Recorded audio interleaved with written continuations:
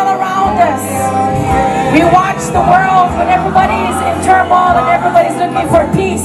The world turns to Hawaii because Hawaii has the key. It's called the Aloha Spirit.